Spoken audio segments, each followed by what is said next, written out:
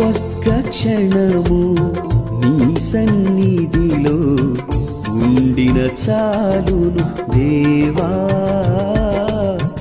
ఉండిన చాలును దేవా. పిత పుత్ర పవిత్రాత్మ నామమున ఆమెన్. క్రీస్తునాథుని యందు ప్రియా సహోదరి సహోదరులారా ఈ రోజున మనమందరము తల్లి శ్రీ సభతో కలిసి పునీత మత్తయ్య గారి పండుగను జరుపుకుంటూ ఉన్నాం. క్రీస్తు ప్రభు పన్నెండు మంది అపోస్తులలో ఒకరైన పునీత మత్తయ్య గారు సువార్థికుడు వేద సాక్షి. మత్తయ్య గారు సువార్త కూడా వ్రాసి ఉన్నారు. అతడు వృత్తిరీత్యా పన్ను వసూలు చేసేటువంటి వ్యక్తి. ఎక్కువ మంది ప్రజలు పన్ను వసూలు చేసేవారు వాళ్ళని ద్వేషించేవారు. ముఖ్యంగా ఎందుకు ద్వేషించారు అంటే రెండు కారణాలు ఇక్కడ ఉన్నాయి. వారు అధికారులకు సేవ చేసేటువంటి వారు యూదులలో ఎక్కువగా పన్ను వసూలు చేసేటువంటి వారు. రెండవది వారు నిజాయితీగా ఉండేటువంటి వారు కాదు. మోసపూరితమైనటువంటి జీవితాన్ని గడిపేవారు. ఎక్కువ శాతం భారం ప్రజలపై మోపి పన్ను వసూలు చేసేవారు. ఈ విధంగా వారు జీవించటం ద్వారా పాపం కట్టుకునేవారు ప్రజలచే ద్వేషింపబడేవారు. ఒకరోజున ప్రభు మత్తయ్యని చూశారు. మత్తయ్యని చూడటం మాత్రమే కాదు అతని హృదయాన్ని అతని ఆలోచనలను అతని బాధను ఒంటరితనాన్ని అర్థం లేని జీవితాన్ని ప్రభు చూశారు.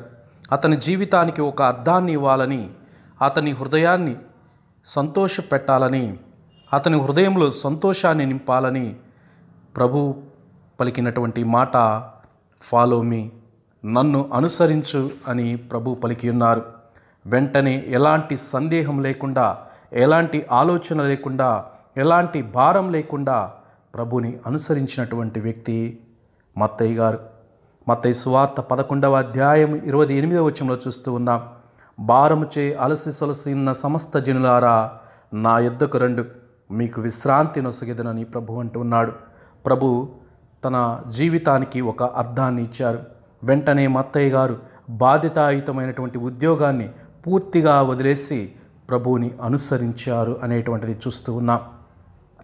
లుకా స్వార్థ తొమ్మిదవ అధ్యాయం ఇరవై మూడవ వచనంలో చూసినట్లయితే నన్ను అనుసరింపకోరువాడు తనను తాను త్యజించుకొని అనుదినము తన సిలువను ఎత్తుకొని నన్ను అనుసరింపవలెను. ఆ విధంగానే ప్రభువుని అనుసరించారు మత్తయ్య గారు. మత్తయ్య అంటే దేవుడు వసిగినటువంటి బహుమానం. క్రీస్తు వెంట ఉండి క్రీస్తుతో తిరిగి క్రీస్తుకు సాక్ష్యంగా నిలిచి ఉన్నారు. అనుభవపూర్వకంగా సువార్తను రాసి ఉన్నారు. క్రీస్తు కోసం మరణించారు.